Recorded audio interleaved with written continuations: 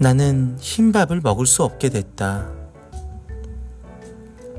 그리고 죽도 먹을 수 없게 됐다.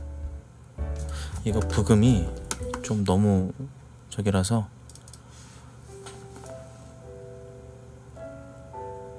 편의점에 와서 흰 쌀로 돼 있는 것들을 보면 먹고 싶지만 먹을 수가 없다. 라면도, 빵도. 이제는 먹을 수 없다. 금지된 정제 탄수화물, 혈당을 조절할 수 없는 병이 내 몸에 뿌리를 뻗고 있었다. 어느 당뇨인의 고백, 독백. 에, 당뇨 초기인데요. 이런 말씀 드리기 좀 그렇지만, 왜 그동안 이런 식생활을 해오신 겁니까? 왜 이런 식생활을 해왔냐고요? 난 공장 야근 2교대 후 몸에 힘이 없어 대충 때운 라면. 더 안 먹어? 응, 배불러. 아깝게 시리. 음식을 남기는 게 아까워 억지로 우겨 넣은 음식물 찌꺼기들. 맛있는 걸 먹고 걸린 거라면 원망도 안 하지. 버스 안까지 와서야 억울해서 참았던 눈물이 쏟아져 나왔다. 난 혈당을 재려면 이런 의학 기구를 써야만 한다. 손을 따고 바늘을 갈아 끼우고 엄지 끝에 댄 뒤에 차각 체한 손을 바늘로 따듯이 피를 내서 혈당지에 피를 떨어뜨린다. 툭 툭 그 용지를 혈당 체크기 안에 넣고 5초를 기다린다. 삑삑삑삑삑삑삑 125 이런 쌍 오늘도 공복 혈당 110이 넘었다. 이런 씨발. 알콘솜으로 엄지를 문지르며 노트에 시간과 혈당을 적는다. 이 행동을 식사 전, 식사 후 2시간 무언가 먹었을 때 운동 후마다 반복하기 때문에 하루에 8번 이상 나는 손가락을 쑤신다.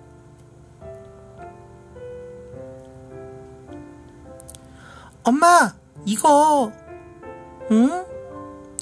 당뇨인도 먹을 수 있는 도넛이래. 고마워. 근데, 딸아, 이런 거 이제 사오지 마. 마음은 알겠으니까. 아, 그래도 엄마 먹으라고 준 건데. 자식들이 간식을 못 먹게 된 내가 안타까웠는지 자꾸 뭔가를 사준다. 저번 주에 둘째 아들 녀석은 택배로 방탄 커피를 붙여보냈다. 당뇨인들 전용 간식은 일반 간식보다 비싸서 밀가루와 설탕을 못 쓰니 재료값이 꽤나 비싸다.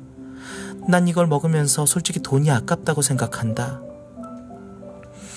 아니 사실은 아 방탄커피 맛있네. 자식들 돈 모으는데 발목을 붙잡기가 싫다. 뭔가를 먹었으니 우... 아휴 아 힘들어 아 뒤질 것 같아. 아파트 계단 오르기는 돈이 안 드니 최고다. 최상층에 오르면 엘리베이터를 타고 다시 1층으로. 이, 이 짓을 다섯 세트를 반복한다. 아, 아, 이제 혈당이 좀 돌아오네. 운동을 하면 눈에 띄게 혈당이 내려간다. 물론 완치는 아니다. 꾸준히 관리를 해야 하는 것이다. 나의 혈당 노트. 내가 눈 뜨지 않는 날까지. 여보, 당신 너무 말랐어.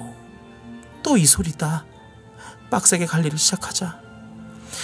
60kg을 넘었던 몸무게는 40kg대가 되었고, 아휴, 또 줄었네. 어떻게 지방을 채우지? 주변에서 보기 안쓰럽다. 대단한 도끼라는 소리가 들렸다. 노력하는 나에게 칭찬 같아서 마냥 듣기 싫은 건 아니다. 당뇨병 자체보다 당뇨 합병증이 무서운 것이다. 당뇨가 걸리면 어떻게 되느냐? 당뇨 환자 40%가 증상을 보이는 당뇨병성 망막병증. 이게 눈이, 눈이 맛이 가요. 눈이 맛이 갑니다. 눈부터가. 시력이 안 좋아지고 눈이 흐릿해지면서, 예, 실명에 이르게 되는 거예요. 그리고 말단, 말단 기간, 예, 손발을 잘라야 될 수도 있어. 코도 잘라야 될 수도 있고, 예. 그리고 합병증으로 인해서 신장이 망가졌을 경우에는 투석도 해야 된다. 당뇨 합병증, 시력이 극도로 저하가 되면서 실명 가능성이 올라가고 신장이 악화되고 상처 치유에 어려움이 발생하면서 우리가 뭐 어디 커터칼 같은 거 잘못해가지고 어디 이렇게 베었어 피가 나 근데 피가 안 멎어 예. 그리고 발에 특히 발에 상처가 잘못 나면은 발을 잘라야 돼. 그 정도로 무서운 게 당뇨병이다. 음. 유전성 당뇨라 존나 건강하게 살다가 30 중반 때부터 갑자기 당뇨가 시작된 사람이다. 좀 오버가 심하네, 내용이. 당뇨 판정 받을 때 한 달에 55kg이 빠져서 해골이 돼가지고 병원에 갔더니 당 수치가 380이 넘더라. 거의 인간 설탕이야. 설탕 인간이야. 그냥 이 사람은 찍 찔러갖고 피가 딱 나오잖아. 빨아먹으면 그게 달아. 어, 찐득찐득한 몸이 몸이 꿀로 이루어져 있는 거지. 며칠만 늦게 왔으면 난 정말 폐혈증이 와서 죽을 수도 있었다. 그래서 약을 먹고 식습관을 개선한다고 나서부터는 혈당이 100에서 110 사이로 유지하고 지낸다. 난 손 절대 안 따고 흰밥 잘 먹는다. 적당히 단 건 괜찮은데 특히 당 당에 좆되는 거, 과당이 들어간 음료수, 초콜릿, 설탕 덩어리 먹으면은 좆된다.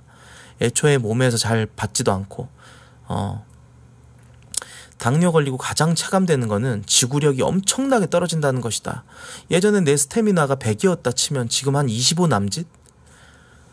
그 100의 스태미너도 30분 정도 쉬면은 50까지는 차올라서 다시 일하고 쉬고 일하고 쉬고 그랬는데 지금은 스태미나가 25% 정도밖에 안 되다 보니까 다 떨어지면은 손발이 부들부들 떨리면서 저혈당 쇼크가 온다.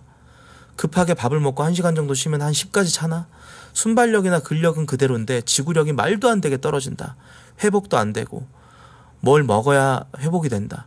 어, 식사가 고통스러워지고 음. 인간의 3대 욕구가 식욕, 수면욕, 성욕인데 그 중에 식욕이 의미가 없어지더라. 어. 맛을 느끼는 능력도 많이 잃었고 아무튼 당뇨가 진짜 무서운 거야. 어. 그 여자랑 관계하는 부분에서도 힘들대. 어. 원래는 40분, 50분씩 그냥 아주 스태미나가 넘쳐가지고 어 길게 어롱 롱샥스를 했었는데 이제 하기 전에는 꼭 밥을 먹고 해야 된대.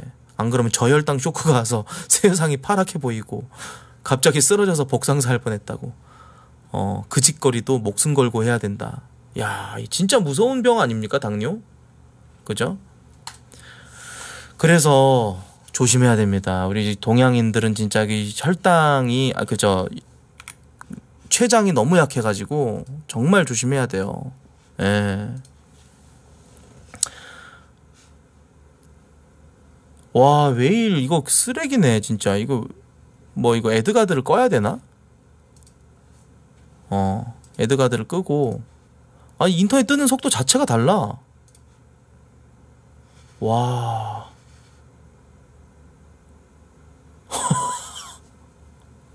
아니 거의 관공서급 인터넷 속도인데? 어. 웨일 써야겠다 웨일. 크롬. 어.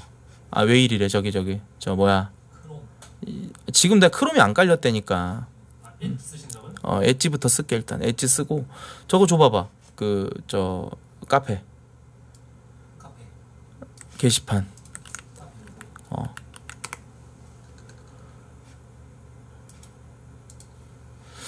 요게 음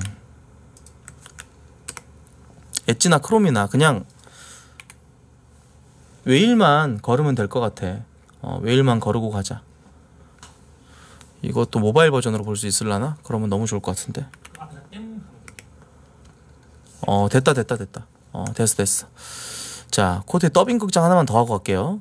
어 코트의 더빙 극장. 요번에는 당뇨 말고 인류애가 사라진 남편 남자친구 아저씨 같고 못생겨서 뽀뽀도 못하겠어요 다리가 고쳐지는 방법 요거 뭐죠 요거 인류애가 어 로그인 또 하라고?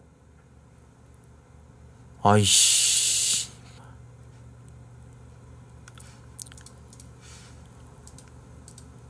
오늘까지만 Whale을 쓰자. 음. 오늘까지만 Whale을 써. 와, 진짜 너무, 너무 느리다, 인터넷. 브라우저 문제구나. 뭐가 문제를 하나? 저는 잘 돼요 인터넷이 지금. 내가 이걸 인터넷에서 너무 많이 써서 그런가? 그건 아니고 제가 봤을 때 그 브라우저 문제가 맞아요. 뭐 캐시 같은 거 좀 없애보실래요?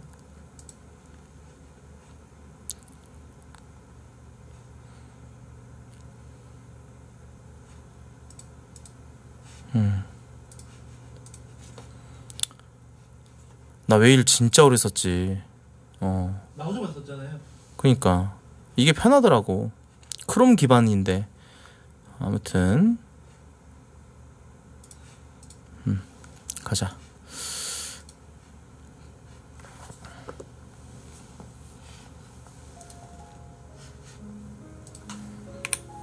인류애가 사라지는 남편. 그 사람은 어디 있어도 눈에 띄었습니다. 아, 민주 센파이? 야, 저 오빠는 캔커피를 마셔도 모델 같네. 야, 민준 선배 엄청난 집안이라던데 진짜야? 물려받을 회사가 있는 거야? 그래서 취준도 안 하는 거야? 아, 아니야, 그런 거. 그리고 저는 그 사람과 2년째 CC로 졸업을 앞두고 결혼까지 생각하는 사이였습니다. 아, 지혜야. 오늘도 저녁 먹기 전에 늘 하던 거, 그거. 괜찮지? 어, 어, 알았어. 어, 뭘 요구하는데? 아, 삼촌, 좋았어요. 아, 민준이 왔냐? 오늘 좋은 거 많이 들어왔다. 아, 여친도 왔구나. 아, 네. 여자 옷은 여자 눈으로 보는 게 정확하니까요. 아유, 민준아, 우리 집도 들렸다가 샘플 나온 거 보여줄게. 아, 네, 이모. 선배 부모님은 오래전부터 의류 도매업을 했었는데, 민준 선배는 그 사업을 인터넷 쇼핑몰로 확장할 생각을 하고 있었다.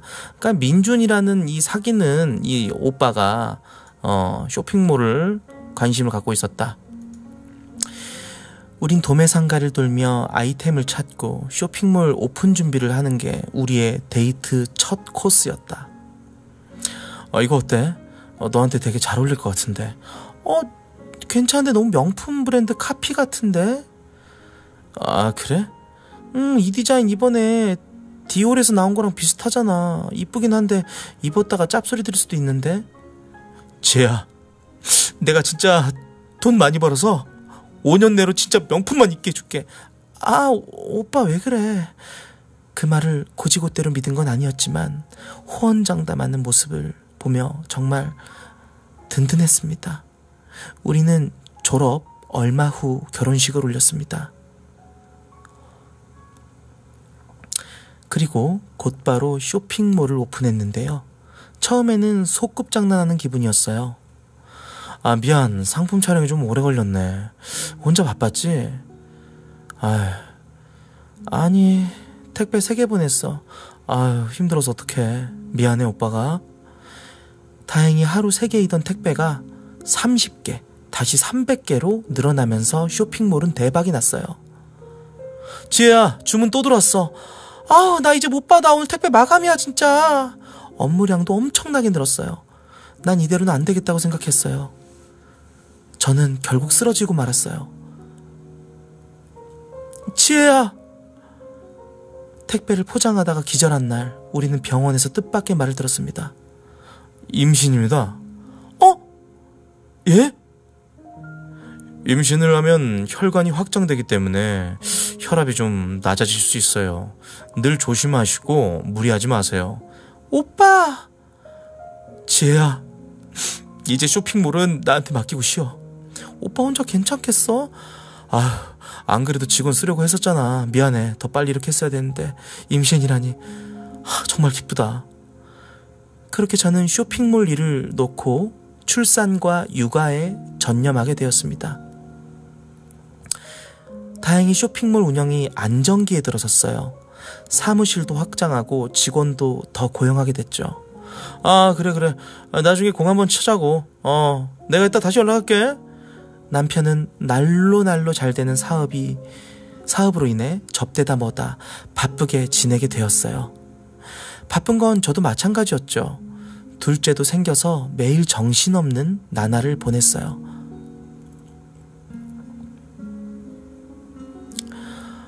어, 어, 오빠, 집에 안 온다고? 저녁 밖에서 먹는다고? 아, 알겠어. 자연히 남편과는 대면대면해졌지만, 뭐, 사업이 잘 되니 다들 이렇게 사는 거라고 생각했습니다. 그러던 어느 날, 아니, 이게 왜 안 돼? 곧 애들 올 텐, 애들 오는데 큰일 났네. 급히 출력해야 될 서류가 있었어요. 집에 있는 프린터가 말을 잘 안 듣더라고요. 다행히 쇼핑몰 사무실이 생각이 나서 남편의 회사로 갔죠. 그리고 남편 자리를 찾았어요. 어, 사모님 오셨어요. 아, 사장님 외근 가셨는데. 아, 괜찮아요. 그 오빠 자리 어디 있어요? 저 프린터 좀 잠깐 쓰려고요. 아, 네, 그러세요. 자리를 비운 남편 컴퓨터 스크린에는 나쁘그러운 영상이 띄어져 있었어요. 어, 뭐야 이게. 아, 오빠도 진짜 나이가 몇인데 회사에 저런 아유, 야동을 봐. 솔직히 화가 났다기보다는 어이가 없고 좀 우스웠어요. 그런데 아니야. 아니야. 그럴 일 없어. 영상 속의 남자의 얼굴이 남편이라는 사실을 깨닫기 전까지는요. 랄프야, 이거 왜 잘렸니? 이거 다음 편도 있어. 빨리 갖고 와, 빨리 갖고 와. 어, 빨리 갖고 와. 어, 궁금해. 빨리 갖고 와. 어. 빠르게 가지고 와. 세상에, 남편이 사업이 잘 돼가지고 야동을 찍어. 야동 주인공이 된 거야. 야, 이 진- 세상에 미쳐 돌아가네, 진짜로. 어? 링크는 별풍만 개 채워지면 할게요. 응, 이미 채웠어. 링크 좀 줘봐, 줘요. 어, 빨리 올려, 빨리. 아, 야, 이거, 이거, 저, 감질내서, 감질나서 쓰겄냐. 어, 빨리 보자, 빨리. 야, 이거 남편 미친 새끼네, 이거, 이 개새끼가, 이거. 근데, 얼굴값 하는구만. 민준 선배. 와, CC부터 해갖고, 오랫동안 연애하고, 와이프 이용해가지고, 이용했다기보다는 그냥 뭐, 어, 잘 먹고 잘 살려고, 또 기왕이면은 어? 아 근데 진짜 약간 극효율남이다. 극효율남 맞지? 효율을 엄청 찾는 민준 선배네. 좀 무섭지 않아? 이런 스타일이 내가 봤을 때 약간 좀 그 소시오패스가 아닐까? 그런 생각이 들어. 어. 모델을 못 구하니까 여자친구를 모델로 쓰는 거야. 애초에 난 여기서부터 잘못됐다고 생각해. 음, 애초에 여기서부터 잘못된 거야. 사귈 때, 뭐, 겸사겸사로 사귄 거야, 지금. 그렇지 않아? 와이프한테 일 졸라 시키고, 데이트 시작할 때, 피팅 모델로 쓰고, 여자를 이렇게 이용해 먹을 수 있다는 거는 아주 그 나쁜 알파 메일에게서만 나오는 행동이에요. 볼게요. 아니야, 그럴 리가. 닮은 사람일 거라고 생각했어요. 그럴 리 없다고. 하지만 폴더를 열어보고 파일들을 하나하나 확인하는 순간 현실을 부정할 수가 없더군요. 폴더 가득한 수많은 파일들, 남편과 여자들의 더러운 사진과 영상들이었습니다. 그 와중에 폴더별로 여자를 정리해놨구나. 야, 개새끼네, 이거. 역겨움을 참지 못하고 저는 헛구역질을 하고 있었어요. 그 와중에 남편이 기가 막힌 타이밍에 들어오더군요. 여보, 어, 왜 그래? 어, 혹시 셋째, 어, 어? 제가 뭘 봤는지 알게 된 남편은 횡설수설하기 시작했습니다. 어, 지, 지혜야, 어? 잠깐만, 나 믿지? 자, 아, 자기 놀랐구나. 아, 그 이게 그 뭐시 그저 친구들이 나랑 닮았다고 보내준 그 일본 배우인데 아니 아니 아니 그 그게 아니라 그 그 그 디페이크 디페이크 디페이크? 어 그런 거그 그 누가 이건 쓸데없는 짓을 하는지. 아 참. 미안해. 내가 죽일 놈이야. 미안해 자기야 증거가 너무 확실하다 보니 남편은 그 이상 발뺌하지 못했습니다. 그 길로 저는 이혼 소송을 제기했어요. 남편의 얼굴을 볼 때마다 남편의 옷과 물건들을 볼 때조차도 저는 역겨웠어요. 그의 역겨운 행동에 늘 구역질이 났고 같이 사는 건 현실적으로 불가능했죠. 남편은 매일같이 싹싹 빌었어요. 퇴근하고 와서 내 방 앞에서 여보 내가 정말 잘못했어. 무슨 말을 해도 이 변명이 안 된다는 거 알아. 내가 정신이 나갔었나 봐. 응? 그 여자들 다 정리했어. 두 번 다시 그럴 일 없을 거야. 여보, 제발 우리 애들 우리 애들을 생각해서라도 제발 한 번만 용서해 줘. 우리 애들이라는 그 말이 내 마음을 찌르더군요. 이혼을 하면 나 혼자서 지금만큼 여유롭게 애들을 키울 수는 없을 거라는 생각. 그렇다고 저런 인간에게 애들을 맡길 수도 없고. 하지만 전 눈 딱 감고 한 번만 용서해 주기로 했습니다. 정말 단 한 번이야. 여보, 고마워. 당신 용서한 거 아니야. 우리 애들 때문이야. 알지, 알지, 알지. 내가 진짜 정신 차리고 잘할게, 여보. 어? 그럼 일단 우리 그 이혼 소송부터 취하자. 어? 비온 뒤 땅이 굳어지듯, 응? 그렇게 우리 한번 잘 살아보자. 결속력 있는 가정, 내가 꼭, 꼭 그렇게 할게. 저는 남편과 함께 법원에 가서 이혼 소송을 취하해줬어요. 여보, 정말 고마워. 내가 정말 정신 차릴게, 응? 하, 내가 이게 정말 잘하는 짓인지 모르겠는데. 새로 태어났다고 생각할게, 여보, 응? 어, 그런 의미에서 우리 그 새 집에서 새로 시작하는 거 어떨까?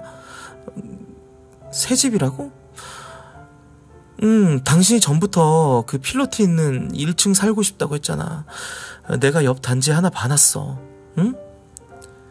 그렇게 저는 뭔가에 홀린 듯 남편 말에 따라 집을 보러 갔어요.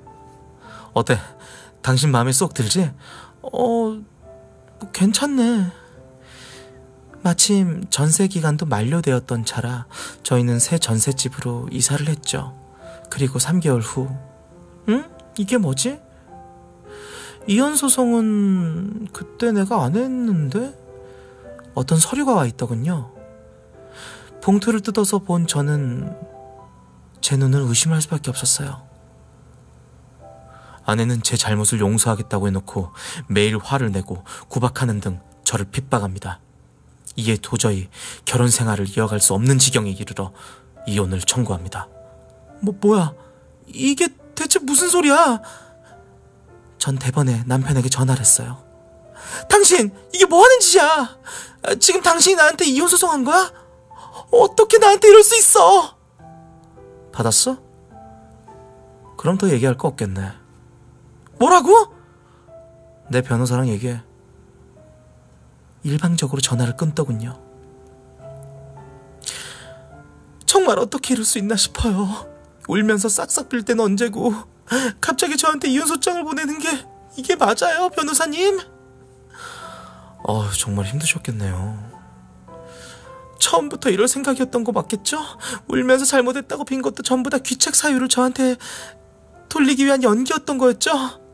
어, 그 외에도 목적이 더 있을 수 있습니다. 소취하 후에 전세 계약을 새로 하셨다고 하셨죠? 혹시 자금 내역 알고 계신가요? 아니요, 계약은 남편이 잘 모르는데 한번 살펴보시는 것이 좋겠어요. 며칠 후 의뢰인으로부터 급박한 전화가 걸려왔다. 변호사님 어떡해요? 아파트 전세 자금에 저희 돈이 한 푼도 없대요. 변호사님 말이 맞았어요. 남편이 전세금 다 꿀꺽했어요. 원래 이전 집 전세 보증금 중에 절반 정도는 저희가 쇼핑몰로 번 돈이었고 나머지 절반은 은행 대출이었는데요. 전세금을 옮기면서 저희 돈에 해당하는 금액은 전부 자기 엄마한테 이체하고 나머지는 은행 대출 추가로 받아서 채워놨더라고요. 어 그럼 지금 집 전세금은 다 은행 빚이라 분할할 재산이 한 푼도 없다고 주장하겠네요. 이체한 돈은 원래 자기 엄마한테 빌렸던 걸 갚는 거래요. 말도 안 돼요. 저희는 시댁에서 뭘 받은 적이 없었는데. 아, 네, 그 부분은 상대방 측에서 객관적인 증거로 증명해야 될 겁니다. 어, 재산을 빼돌릴 시간을 벌기 위해 소취하를 유도한 것으로 보이니 반소를 제기하고 저희는 저희대로 위자료를 한번 청구해 볼게요. 그게 가능할까요? 이미 한번 용서하기로 하고 소를 취하했는데 제가 다시 소송을 제기해도 될까요? 어, 민법에서는 부정행위에 대해서 사후 용서를 한 때에는 이혼을 청구하지 못한다는 조문이 있거든요. 상대방이 아마 이 조문을 악용하려고 했던 것 같아요. 하지만 사후 용서에 대한 대법원 판례를 보면 충분히 이혼과 위자료 청구가 가능할 것으로 판단이 돼요. 어, 저희가 잘 준비해 보겠습니다. 그리고 저희는 재판에 들어갔어요. 남편 측 변호사가 이렇게 얘기를 하더군요. 아내는 남편의 잘못을 깨끗이 용서하겠다고 해놓고 그 일을 트집 잡아 두고두고 우리 의뢰인을 구박하고 핍박했습니다. 즉 혼인 파탄의 책임은 아내에게 있습니다. 우리 의뢰인은 남편의 잘못을 깨끗이 용서하겠다고 한 적이 없습니다. 오히려 남편이 재산을 빼돌리기 위해 한 거짓말에 속아 넘어갔던 거죠. 예상대로 재산 분할이 관건이 되었다. 남편은 이혼 소송을 제기하기 직전에 본인 어머니에게 N억 원을 이체했는데 이 돈은 사회행위 위 취소로 분할 대상에 포함되어야 합니다. 판사님.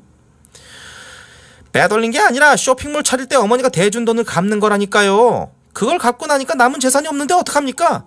그렇다면 그 사실, 그 차용 사실을 객관적인 증거로 증명해 주시죠. 그리고 분할 대상이 되어야 할 재산이 하나 더 있습니다. 온라인 쇼핑몰이죠? 뭐요? 아니 그 얘기가 왜 여기서 나와? 여기 해당 쇼핑몰의 사업자 가치를 감정평가한 서류를 제출하겠습니다. 상대방은 어머니에 대한 채무를 명확하게 입증해내지 못했어요. 다행히도 법은 제 편이었죠. 법원은 해당 금액을 남편이 보유한 것으로 추정하여 재산 분할의 대상으로 삼게 되었고 여기에 더하여 쇼핑몰 사업자 가치의 50%의 위자료, 두 아이의 친권 양육권과 이에 따른 양육비를 저는 받게 되었어요. 고생 많으셨어요. 의뢰인님. 아니에요. 정말 감사해요. 솔직히 소장을 받았을 때는 숨이 턱턱 막혔는데 내가 저런 남자한테 속았다는 게 너무 기가 막혀서 아, 정말 감사해요, 변호사님들. 아이들을 혼자 키워야 한다는 생각에 마음이 흔들렸지만 이젠 정말로 전 강한 엄마가 되어보기로 생각했어요. 도와주신 보람 느낄 수 있도록 멋지게 살아볼게요. 든든하게 미소 짓는 의뢰인의 앞에 이제는 좋은 일들만 기다리고 있기를 기원했다.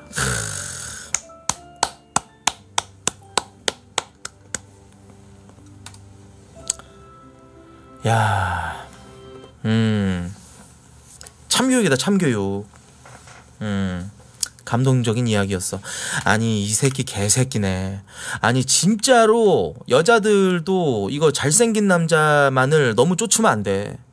이게 이 새끼가 나는 쎄했던 게 뭐였냐면은 이 민준이라는 새끼가 대학 CC 때 자기 그러니까 그 중에서 이쁘고 괜찮고 내가 잘 구슬릴 수 있는 내가 가스라이팅 할 수 있고 내가 어 손쉽게 이렇게 좀 쥐락펴락할 수 있는 쥐흔할 수 있는 여자를 물색을 했을 거야.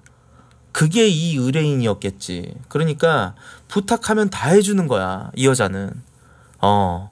그렇게 해가지고 쇼핑몰 사업에 애초부터 관심이 있었는데 그 쇼핑몰 사업에 할 때 이제 돈도 아끼고 할 겸 이 모든 걸 계획했다는 게. 와. 역겹다 이거. 민준이 이거. 음.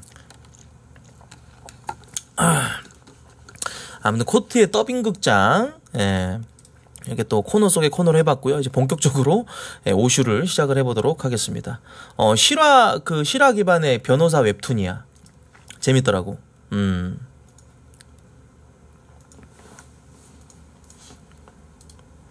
더빙 극장 할 만한 거 있으면 여러분들도 카페에 또 많은 또 업로드 해주시면은 제가 또 해드리도록 하겠습니다. 예. 그 성시경 중. 음. 며칠이야 그거? 아 진짜로? 예. 어. 7월 24일입니다. 분량이 많이 밀렸어. 근데 이게 여러분들 시기를 잘 안 타는 내용들로 내가 오슈를 하다 보니까 어, 차례대로 좀 해보려고. 성시경 성시경급 가수 부르자는 여자친구? 예. 이거 다음이지? 예. 갈게요.